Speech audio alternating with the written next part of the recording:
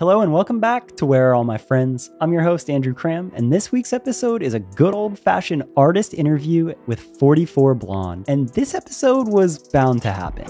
We had a lot of mutual friends. He's been on my radar for a while now, but in all reality, his project is just now starting to take off.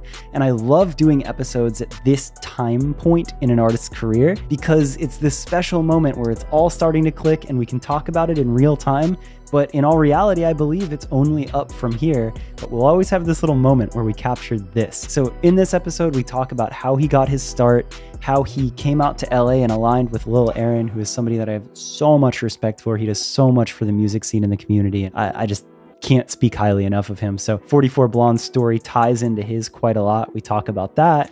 But then we also talk about, from 44Blonde's perspective, what he did as an artist from St. Louis to then kind of get out to Los Angeles and align with the right people and where he got stuck in his career and what he did to fix it. And I think that's valuable for anybody. And I think we all kind of feel that. So, for all those reasons, I thought it was a great episode. Let's get right into it. Where are all my friends? 44Blonde. I'm I'm hype on this one because you're you're an artist that I don't, we have a lot of mutual friends, and I heard of you. I think probably through Fish originally, Mhm. and then probably Lil Aaron, and then it was like a staggering chain of events of oh more more more more. And then I I took the time to properly listen to the music and I was like, "Oh shit. Okay, I see you." So I'm genuinely excited to have you on, and I really want to hear about your story. And I'm, I would imagine we're gonna have a lot of moments in this where it's like, "Oh wait, you know this or this, this, this." So Right. thank you for being here. I'm I'm just happy to be here. Yeah, thank you. Yeah. Hell yeah, hell yeah. So uh, typically, the way I start it is if anybody doesn't know who you are, just a quick explanation of who you are and what you do. So yeah, my name's Ethan, 44 Blonde. Uh, I just graduated college, moved out here, uh, signed a record deal with um with TAG uh, Yeah. and and Lil Aaron, Yep. and um just make music, have fun. You know, make music about having fun. That's about it. dude So- that that says it well and already just off of tag and lil aaron is Mhm. again more mutual friends but i'm curious like what was life before you got to la like how early did you know you were going to do the music thing I mean, I've I've been playing guitar since I was like eight, but then I kind of held off on that once I got to college and and just kind of I, I started trying to get like internships. I was in the business school, this and that, and and then I uh, I got back into writing writing more music because I met uh, this really cool producer in college. Uh, his name's Reed, and we actually ended up making "She Loves Drugs," which was my first single um, together. But that was kind of like after I dropped that and got a lot of good response, it kind of felt like okay, this is like it could it, this could happen. Like this is is fun. So yeah, did you say where you grew up uh, St. Louis. St. oh no way Yeah, Whoa. Okay. So then there's maybe even more weird mutual friends. There is a special scene out in St. Louis that I have observed from the outside looking in. But you would, I guess you would say the the forefront of that would be like Dylan Brady. yeah. But then there's a lot of people around that, like Ravenna Golden and Pretty and a lot of other producers and a really Yeah. special sound. Were you around that? so Dylan actually went to my high school. No fucking way. But he's, I, I want to say, four or five years older than me. Uh-huh. So like, I was going into high school when he was graduating. yeah. Um, but I know like some of my buddies, older older brothers, were like friends with him. Yeah, no, I mean he was he was like making Night Lavelles. Like he was working with Night Lavelle whenever I was in high school. And we were like, who is this? This is so sick. Like yeah. So. Holy fuck, that's crazy. It's it's weird uh, to observe certain pockets of of areas. Right. I was gonna say the U.S., but it's everywhere. right. But like certain sp- like cities and whatnot, where you're like, wait a minute, there's like a lot of really special music coming from this one spot, and I, I honestly couldn't explain why. But hearing that you're Yeah. from St. Louis, I'm like, huh, Yeah. like it, like there's just like a makes sense, yeah. and I couldn't even say why. Yeah, and and, and Dylan like uh, he's in the hundred gecs with uh with Laura, and she actually went to like the rival high school. No fucking Yeah, way. which is like down the road. And then um, Dylan actually also produced Drugs by Aaron, so it's like this whole just like kind of web of Like, I didn't know Dylan produced drugs. yeah, Holy shit. Yeah. He he's been behind a lot of like some of my favorite stuff. That's that's definitely a person I have respect for. yeah, But he's great. Yeah. cool. So you were studying business, you were in college. Were you always playing music throughout that? Like was it always something that you loved? Yeah, I mean, definitely. I even had a project before, but it was more like poppy stuff. Kind of, it was it was more just trying to like fit in with I, what I thought was gonna like do well, rather Yeah. than what I like wanted to do, what I thought would sound good. Um, Yeah. yeah. I mean, in the back of my mind, I always loved doing it. I loved like putting out songs and and promoting it and and getting these people to come at me and like give me feedback about whatever at the end of the day like i, I ended up taking quite a long break after i want to say when i was like 19 or 20 i was just like this is like at this point it's just turning into a, a hobby because nothing was coming of it i was kind of hitting this brick wall Whoa. and uh and then eventually i was just like i was like i can't like not do it you know i would just like there was nothing else that like filled my time it was Yeah. like fun you know so okay, but I'm obsessed with this exact moment because like that brick wall that you talk about, Mhm. I think everybody runs into that and it's extremely discouraging and like in the moment you're just like I don't know what the fuck to do. Yeah. So like what like what did that feel like and what was that turning point or was there like specific things that you did or like how did that unfold cuz I'm obsessed with hearing about that Yeah. exact moment. So I mean, it was like definitely one song I put out um, in this little band I was in, and I mean the response was just insane. But it was to this very small little market, and I couldn't seem to like break out of that. I mean, like we were going to like every party in St. Louis. We were going like VIP in clubs at 19 because of this song. Like it was fun. We were we were shooting music videos on roofs that we were technically like very much not supposed to be on downtown. Like, but no one knew about it. Like I didn't have that extra push that I needed from like a label or something like that. But you could feel it. There was a tangible feel it. energy of this is different from the other stuff and there is a proper response. Yeah, I could feel it, and like I would, I was putting no money into like a budget. I didn't, I didn't have any money to put in Mm. Yeah. a budget. But I was like, if I can do this with no budget and and getting this kind of response, like I don't know what I'm doing wrong, and that's why I was like, yeah, like I I, I got very discouraged, and I was like, like I just can't can't keep doing this, can't keep running in a circle when like I can see like these numbers, these these results, this feedback, but at the end of the day, like it, it doesn't matter. Like I'm not I'm not really gaining anything at the end of the day. So Damn, what a weird time because like Yeah. there you are like seeing success and then you're like, okay, but what happens? looking back, I think it's I was doing stuff that was in such an oversaturated market to where it was very hard to like stand out. Whereas now I kind of just rather than trying to appeal to whoever, I just like literally just go live life and sing about it and write songs about it. And and I mean, people seem to like that a little bit more, and it, stands out more because I mean, everyone has their own story to tell. So it's almost like by doing less, it that's the thing that clicked. Like yeah, doing less, just trying so hard. honest and, Yeah. and and walking this line of like this this fine line of of not not lying but exaggerating the truth enough to like entertain people which Yeah. is i mean it entertains me like I, I i look back i listen to these songs i'm like yeah like that that was that was a good time but in, in reality i mean it may not have been that Yeah. crazy, you know It's funny. I always get shit from my friends because I'm so far from a lyrics person. But your Mhm. late, your last single that you dropped like just recently was "Should Have Stayed Home," right? right And like even that one, like you listen to it and you're like, yeah, I feel it. Like you do a very good job as an artist telling stories. And appreciate for somebody that doesn't hear lyrics, I mean that as a very high compliment. Because if it comes through, Yeah. then I'm like, all right, well, yeah. I appreciate that a lot. Yeah. Yeah. I used to um, sit down in my basement with my dad and listen to Bob Dylan records till three in the morning, and like he would make me dissect these records and, oh and wow. like and tell me like him what the lyrics meant and stuff. Like this was years and years of me growing up doing this. So like that, that I, really appreciate that compliment. Wow, that's cool. Okay, so that actually answers another question. Like music was in your family and it's something that like even around your father and growing up, like you had good influence on proper music. Yeah. Yeah. I mean, I wouldn't say like the stuff I make now is is influenced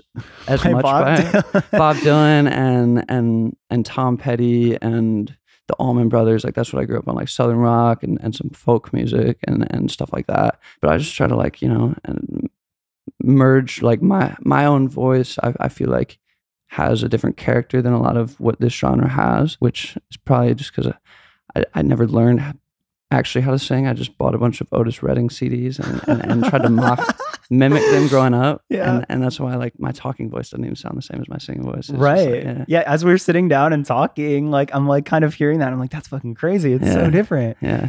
Um, but yeah, that, that's that's really interesting to me. And that's another part of music in this day and age that I love is like there's not cred. It's not like, oh, well, you listened to this when you were growing up, so it's whack now. It's like, oh my God, that's sick that you drew inspiration from this thing that I never would have expected. Like, I love how there's not really genres right now and how inspo from anything is just cool. And that, I, that scared me, to be honest. Like, Really? coming out here and like meeting up with Aaron and like all these people, and I was like, I don't, I don't know like the same type of music as you to the extent you do, Mm-hmm. and I didn't want to come out here and and just be seen as like this, like I don't know anything type person. But yeah. I mean, I think the first or second day I ever hung out with Aaron, he told me I should do a, a Tom Petty cover for my project. So like, yeah, he I grew up in Indiana. So yeah, I fucking love him. yeah. Okay, well, take me up to that part of the story because I have an unreal amount of respect for Lil Aaron. I think uh, I did a podcast with him, and I think that's something that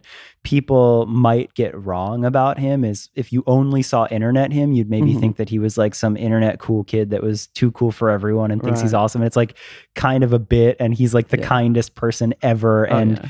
I think he's done something so special for upcoming artists in LA is like he will take anyone in and like fucking house people and write with them and connect them to anyone. Like he is such an important part of this music scene in the best way. And you Mhm. are a part of that story, right? So how what is your story coming out to Los Angeles? What's that look like? well, yeah, no, Aaron, Aaron's great. I mean, he's kind of a, a blessing in disguise for me. Like I Yeah. said, I hit that wall and he came in like a savior, to be honest. Oh my god, so he was like that next piece. yeah, basically. Oh shit. Yeah, it was funny though. I had made the song "She Loves Drugs" Uh-huh. kind of like after hearing his song "Drugs." Like I love that song. I want to make something like that. I sent it to him, hoping that he would see it and listen to it. Uh, I didn't get any reply, and then I sent him one night. I was I was fucked up, and I sent him a BDSM meme because I was like I was seeing his stories. I was like, this dude will love this. And within 20 minutes, we're on Facetime. He's like loving the song, and like, it was so funny. And then a week later, like I was talking to him and Gabe, and I had a flight out here, and so yeah, it was that's the Oh, weirdest. wow. Like, hopefully, people will start sending more BD, BDSM. Yeah, yeah, yeah. That'd be hilarious. That's the key. That's Yeah, all you need. That's all you need. and it's funny though like i think in that is maybe the lesson of people are people and like Yeah. everybody appreciates fucking humor and just being real and all that so Yeah. instead of like put me on here's a song just being like here's some stupid shit and like uh, you know Yeah, and I didn't expect anything of it. I was just like, this is hilarious. And and the biggest thing is he has definitely been like the first person coming out here, just realizing that like everyone is just a person. Like it, they're just they're all nice. They're not this huge like celebrity that's gonna like shun you for talking to them. Like they're all so genuine out here, and and I love it out here. And yeah, Yeah. damn that's really cool so how long ago was that first trip out when you when you came here was last May, I want to say. so Yeah, not that long no, about a year ago. wow Yeah. Because I feel like a lot has happened for you, like in that Yeah. like last year, and a lot kind of clicked, huh? Yeah. Yeah, no, it, it was it was definitely a, snowball effect of things like the moment I got out here. So Yeah. yeah. Do you think I've noticed this in other podcasts that I've done, and I'm curious what your experience or take on it is, but I think that uh, you have to be receptive to those moments and opportunities, and also like the full send, right? Like a lot Mhm. of people could have had that, like, oh, I connected with. It doesn't have to be Aaron, but like just Right. X person on the internet, and there's a chance to go out and do this thing. And it's a little uncomfortable, and you don't know the people. It could be socially awkward, and a lot of people maybe don't do it. But then, even if you do it, I think there's something to like the full send, Yeah. like the like, all right, here we fucking go. Like Yeah. I'm gonna go commit to this. Like, yeah. did you experience that when you came out here? Were you ready for full send artist project, or what were your 100,000%. thoughts? Yeah. It was biggest thing was I I got uh, them on the phone. They're they're wanting me to like come out here, take a trip, and my mind is just racing. Like, what am I gonna tell my parents? Mm. my parents, I mean, they were they're supportive now. Yeah. But I mean, they were like they were stoked I was looking for internships and, and full time jobs. So I was like, Right. It was a very I- different narrative. it very, was like very you different. about to graduate college and you're studying business. they'd and- gone yeah. 21 years of expecting me to to work a nine to five. And then right. and then overnight i was i was telling them like yeah like i'm going out here like i'm i'm going in the summer so it's not gonna like Yeah. change anything with school this and that like and they were like all right and so i came out here and yeah it was just i, I kind of just had that head first mentality the moment i got out here i was like yeah i just want to dive into anything and everything i can especially because i only had four or five days the first time i was out here Yeah. so i was like I'm I'm I'm just doing everything I possibly can, meeting as many people as I can, and and I keep even now like I'm I'm living out here, and I still try to do that just because I I never want to stop. You know, I Yeah. just want to keep going. God, I love that. In that in that four or five day trip, like was that was your first time coming to Los Angeles? First time, yeah. I'm not an artist, and I remember my first time coming here, but like coming here, meeting Aaron, was it like was that like a trip out of a movie? Like was it fucking crazy, or like what did you do? Was it studios? Was it parties? Like what what did that look like? That trip, it was honestly all studio sessions. Yeah, Yeah, I showed up and actually the first day I got there, we went to a Lil Lotus um, Yeah. music video. yeah, He was shooting, and I was like, "Oh, this is sick." It was like in a motel, and I was like, I was like "This is this weird." Yeah, it was just like every day, like two sessions a day, and like I think we, I want to say, yeah, we had three set, three days worth of sessions, made five songs total, and like every song I was just like in love with, and I was like, "Yeah, this is like it." wow. Yeah. Who were you writing with, or, or like what were there early names there that connected that have ended up being people that have still stayed in your career? Yeah, I mean, like, um, I'm still trying to work with as many like producers and this and that as possible. Um, it was cool because a lot of those people that were people Aaron hooked up, I would have never been able to get in rooms with, like John Feldmann and like uh, Drew Fulk and and all these people that that are, I mean, big names. And this is the first time I'm out here, and I'm just kind of like nervous and, and shocked, and and yeah, I mean, Fucking um, Aaron. So yeah, This ends up just being the the Aaron appreciation episode. Literally, yeah. I mean, I'm Oh, very fuck. appreciative of what he's done for me. So yeah, That's no, it's really cool to hear because I wanted to hear your story and I didn't know how much he played into it. And Yeah. you know, like I've I've said this from very early on of how much I respect what he does for the culture, but you are a true testament to that. Um, back to you though, with writing and showing up and doing all that, another thing that I'm not an artist, I don't know, but Mhm. I think that a lot of times you can be the artist that writes in your bedroom, self produces from any city.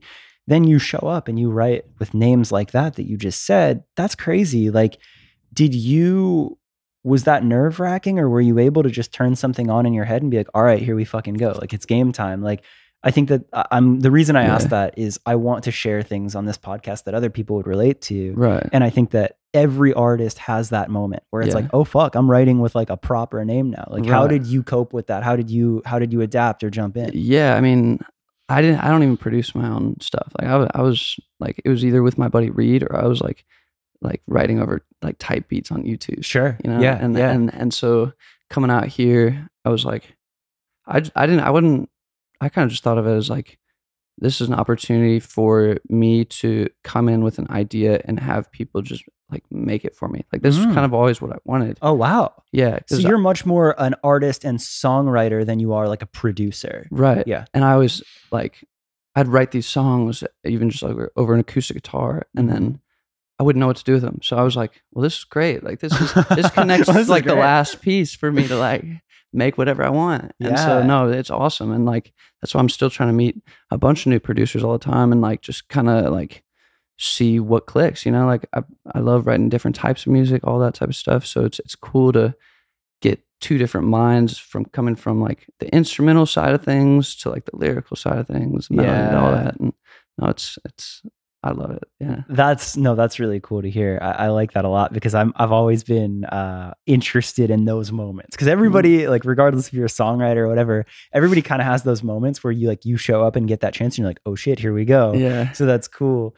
Do you think um like the reality of that was that like was everyone pretty welcoming? Like was it pretty easy for you? Did you have enough ammo and songs in mind where then you sit down and you're like, oh, this isn't that bad. Like we're just riffing like anyone else I would work with. Yeah, I mean, everyone was great. They were Yeah. all so nice. They still are to this day. I will say also, like another Aaron appreciation is. I mean, he's probably the best songwriter I've ever met. Yeah. And so we'd go in these rooms and and write two songs a day, five hours total or something. We'd we'd crank them out that fast. And, Wow. and like one of the songs we wrote in twenty minutes. Like, Wow. Yeah. Dude, sometimes those are the ones though. Like if you Yeah. overthink it, you're doing nothing toward like for Yeah, it. no, Like, exactly, and yeah. and and you're like laughing at the end. You're like, man, this is just so good. Like it's yeah, it's so fun. So Yeah. all just based on who you're, who, you, who you're working with and when you go in there and and everyone everyone made me feel comfortable so it was great Yeah. That's fucking cool.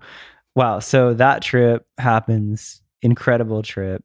Go back home, how much longer then does it take for you to be like, all right, I'm gonna I'm gonna truly full send it and come out here? Well, I I feel like I like to finish things that I start, and so I went I went back to uh, finish my senior year of college, Wow. um, and I I felt like also all the pieces weren't fully together yet for me to just come out here and and and dive head first. I still like in the back of my mind love a little security to know like things are gonna end up all right regardless. So uh, yeah, I finished my last year of school, but I was coming out here probably once every two months or so. Oh, okay. So yeah, and, and I'd spend a week out here and and um, just keep working on because also I'd signed that deal and I was working on a um, a whole project. So I was like, well, I, Yeah. I'd love if this project was done by the time I got out here. That'd be great. Um, which That'd be great.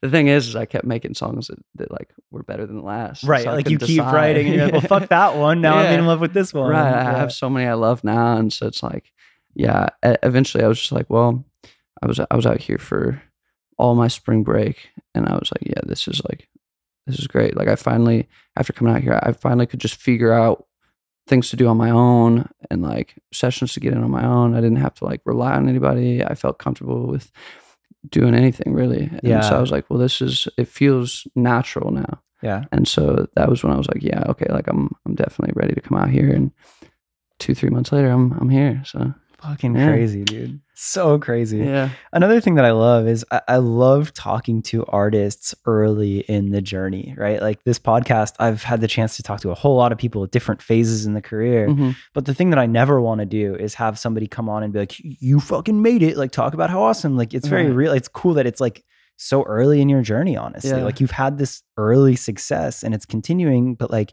you just released a single a couple weeks ago. Like, you really, Mhm. you can feel that yeah, it's kind of just the beginning. yeah. No, I released a song a couple days ago.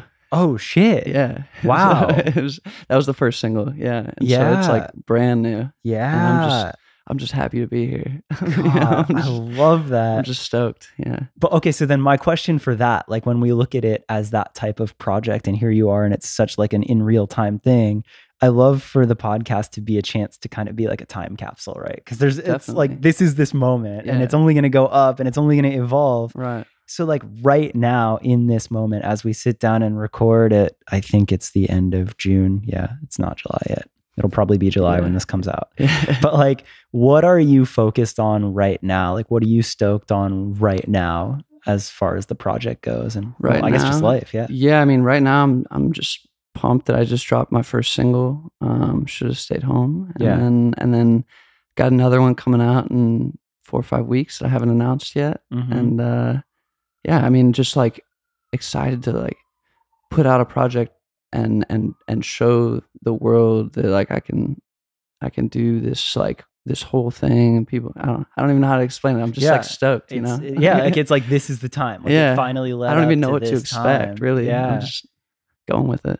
That's crazy. Another another part of uh this that I love so much is thinking about lessons learned and and the whole journey. And again, it's still so early, but as you look back on all of it now, is there anything like the advice to the artist that relates to you or that like feels like there's something special? Like, mm-hmm. I guess like St. Louis U, where you have the one song and you're like, people care, Right. but what do I do?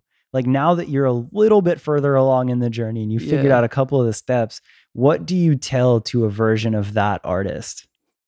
That's a good question. I mean, if you really believe in something, I mean, definitely like full send like you were saying with it.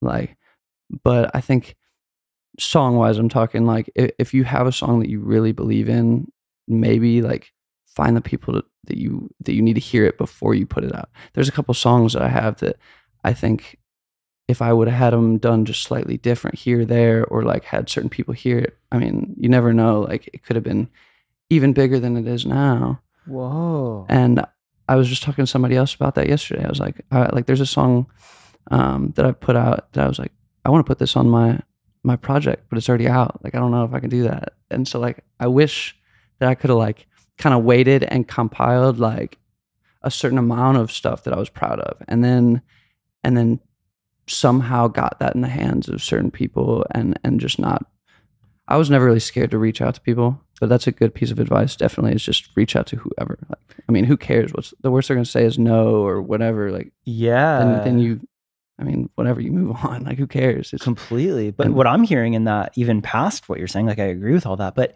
I'm almost like, damn, you were pretty strategic about knowing who you wanted to hear your music. Mhm.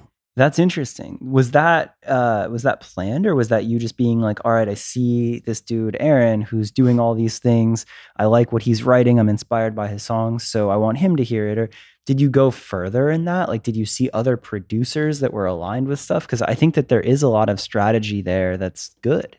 There is, but I, I don't think I thought that way through No it. shit. I was just kind of like, oh, like I just want to, like, basically, I I kind of played a game with Instagram with when they started having the mutual things where they'd show. Uh-huh, uh-huh. I would just like kind of play the like I'd follow a couple of people here that I knew like knew someone else, and Mm. then like we'd become mutuals, and then it became like this whole chain of events, and then like suddenly, suddenly someone would follow, or like I'd follow them, they'd be like, oh, you know, like ninety of my friends, and I'd be like, yeah, yeah, yeah. Pause. Like we've met, yeah, yeah, Totally, for sure. yeah. yeah. And well, that's Aaron gave me the best piece of advice I've ever heard. Is it, it's that the internet is not real. It's all just a big game. Like you don't, you just play it like a big game, and don't get your feelings hurt over it, and and things will go a lot better for you. Because I was, I used to care about like how many likes I was getting, like who was viewing my stories, and he was like, dude, like the internet is not real. Like just who cares? And so just do whatever you want. And since then, I mean, I've just been, it's been a blast, you know. Elaborate on that because I love that so much. Yeah. And I, like, damn it, do I love that? But like, tell me, dig further into that. Like, what were you getting caught up on? What was what was fucking you up? Mhm. And like, what did you specifically change? Because again, I, I love to like dig into Yeah. these little things. I mean, it used to be just like I was getting caught up on like I'd meet someone or or like I idolize someone. They her, them and I would become mutual friends on on Instagram or whatever. Yeah. And then or they would message me and and suddenly like they'd unfollow me or they'd ghost me. And I I Ah. felt personally like, yeah, but I was like then I, I I was talking to Aaron about it and he was like, dude, who cares? right. and and and it took me a little bit to like really like realize that but now it's like yeah like i mean if if someone messages me and i forget to reply or I, or i don't want to reply like i hope i hope they just don't care you know like right. it goes two ways like yeah. i can do that you can do the same thing to me like I, it's all good like yeah, like like i don't no one has the time for for that it's, it's, it's all Right. just yeah I like that a lot. And I, I think that that is such a great mindset to have with it because it's so true. Like, if you Yeah. take that for yourself, like, fuck, how many DMs are there that you can't get to and respond to? yeah Does that mean you have a personal vendetta or beef Right. with any of those people? Like, no, you're just fucking busy. yeah So, like, to take that and apply it advice to yourself to Yeah. just be like, this isn't personal. Like, it doesn't matter. It's a game. Not at all. Yeah, exactly. So yeah, that's that's a good piece of advice that Yeah. people should definitely because the internet's ruining everyone. So Dude, yeah, it's crazy. It's Yeah. crazy how much that just gets talked about, like amongst any type of creative, right? Yeah. Like, it's such a fucking huge piece of it. yeah, Yeah. So But respect for having integrity as an artist and and being more than just internet, you know? Right. That's like, I mean, in the time that we're talking right now, like if I were to just look at like Spotify numbers or anything like that, like it's to me, it's laughable the quality of your music and how good it is compared to numbers. But I love that. I love that Yeah. you are more than just something on the internet. I definitely used to get caught up on the numbers of, of stuff like that too. And yeah, now it's just like it'll happen. You know, like yeah. it, I'll find my way. It'll be all good. What do you think is next uh, past this project? Or oh, actually, tell me about the project. So the first single, "Should Have Stayed Home," Yeah, just came out. I thought it Mhm. was a couple weeks ago. It was a couple days ago. a couple days ago. Holy Yeah. fuck! When will the full project come out? Uh, I think we're shooting for like early to mid fall. Okay, Yeah. cool. We're just doing an EP, so yeah, I think it's gonna be five, six songs on there. And Damn, so your head's probably just in that right now. Like if I ask what's Basically. next past that, you're probably like, I don't fucking know. Like, Yeah, I mean, I'm I'm hoping I put it out and and maybe open up for someone on a tour. That'd be Oh, cool to like kind of push the EP and and just meet more people, get more fans around Oh, yeah, around the 'cause country. have you had the chance to play live proper? I opened for uh, Lil Lotus at Gilley's um, in Dallas. what Was that last fall, I guess. Um, and then I'm actually playing emo night on Friday. This Yo, Friday. Yeah, sick. yeah, that'll be my first show out here, so I'm excited about that. Oh shit. Are you gonna? How, what's your setup? Are you gonna go full band for that, or like how do you? Um, I'm having Tosh drum for me, Uh-huh. and then I'm having this guy John play guitar for me, and then I'm I'm running some some tracks behind because a lot of it is unreleased, and I don't want to, you know, really go go raw dogging it in there. Yeah. So, yeah. I feel that. And like ideally, like if you were to tour, because that's another thing that I almost forget to talk about because I I don't know, I just like assume that everybody just goes and plays live and tours. But with I mean, everything the last couple of years, people couldn't tour. hmm And then so many projects are so new.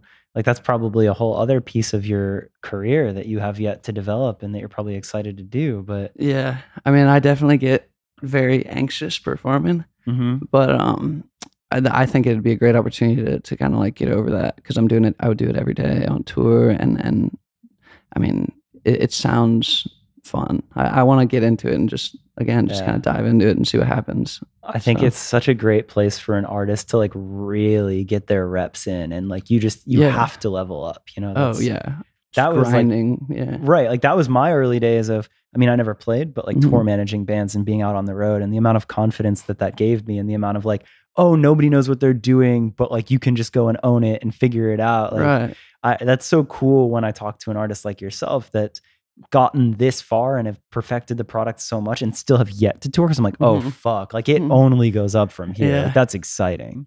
Yeah, unless I'm somehow horrible at performing, but I think yeah, I'll be but like that's the best part about that is like it literally doesn't matter. Like that's one of those things that it is practice. Like if you were to be the Yeah. worst, like you never have an artist that goes out and tours for a year and is like, wow, they still just suck. Like you're go it's it it's statistic. Right. You have to just be better. Yeah, it's more fair. just like, damn, hope I nail it. Like Yeah. hope you start off at a good right. spot. Yeah.